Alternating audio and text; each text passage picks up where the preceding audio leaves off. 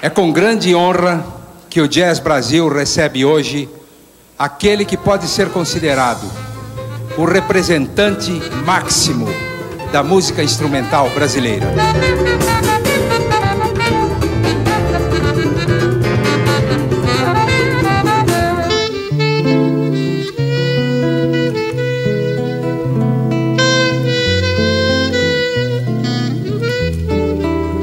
De brincadeira eu digo que toco nela porque é mais bonita. E a afinação a gente consegue ajeitar porque todos os instrumentos são imperfeitos.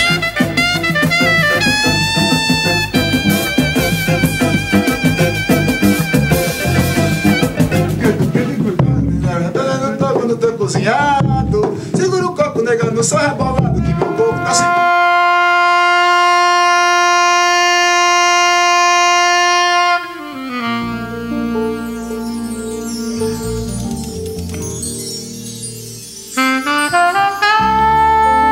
Encontro um clarinetista ou saxofonista e está perto de mim, está conversando, aí diz, ó, faz, faz uma brincadeira comigo.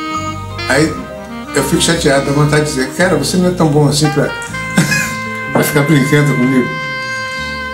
São os defeitos do ser humano.